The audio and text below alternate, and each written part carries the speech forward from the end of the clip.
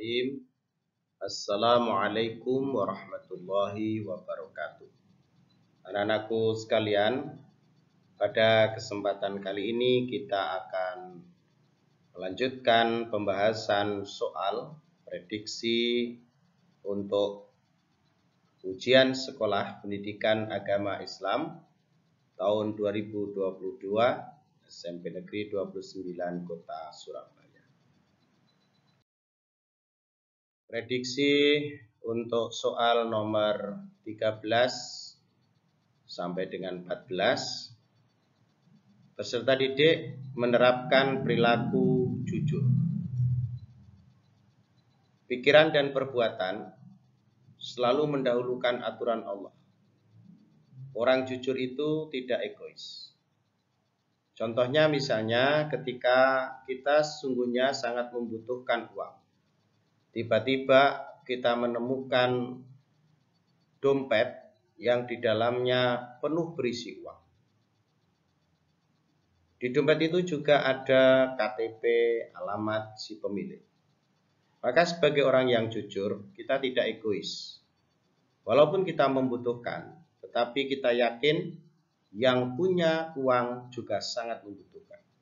Maka orang yang jujur akan berusaha untuk mengembalikan dompet itu kepada pemilik yang sesungguhnya. Itulah salah satu manfaat perilaku bersikap jujur. Lalu kita akan belajar tentang empati.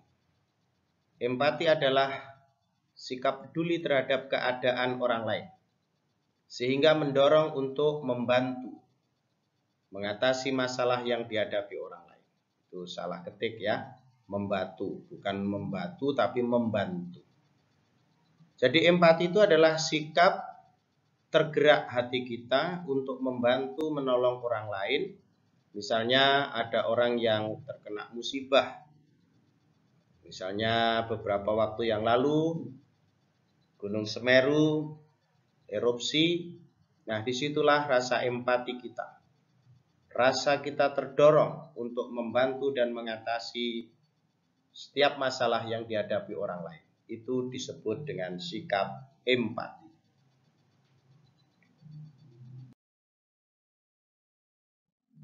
Lalu berikutnya prediksi untuk soal yang ke-15 dan 16. Peserta didik memahami bahaya minuman keras. Kita tahu di dalam surat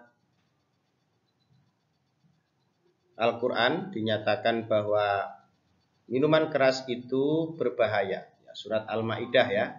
Surat Al-Maidah ayat 90 Itu menyatakan bahwa al-khomru wal maishiru. Jadi khomer dan judi itu sangat berbahaya di antaranya menjauhkan diri kita dari mengingat Allah. Jadi orang kalau sudah kecanduan minuman keras, mabuk, biasanya kita tidak lagi ingat kepada Allah. Apalagi orang yang ada di sekitar kita, kesusahan yang ada di rumah tangga kita, kita lupakan. Bahkan kita tidak peduli lagi dengan orang yang ada di sekitar kita. Lalu menumbuhkan permusuhan dan perkelahian. Orang yang kecanduan minuman keras atau yang sedang mabuk biasanya mudah tersinggung ketersinggungan itu menimbulkan perkelahian, permusuhan, bahkan kita mencaci maki tanpa terasa. Lalu malas untuk beribadah, ya.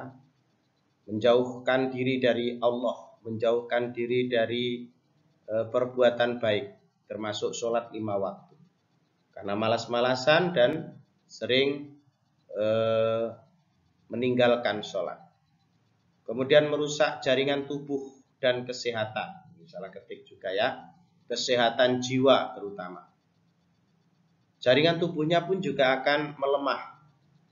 Jiwanya juga akan melemah. Ini bahaya minuman keras.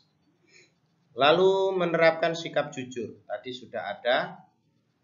Misalnya menemukan uang. Nah, ini contohnya ya.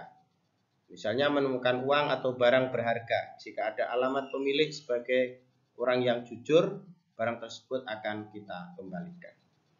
Semoga eh, video ini bermanfaat untuk anak-anakku sekalian. Terima kasih dan semoga bermanfaat. Bila taufik walidayah. Wassalamualaikum warahmatullahi wabarakatuh.